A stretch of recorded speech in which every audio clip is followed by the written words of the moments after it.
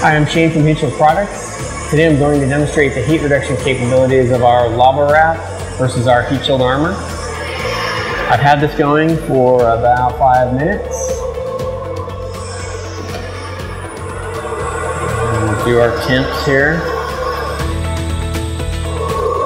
Here's our temp for our bare pipe.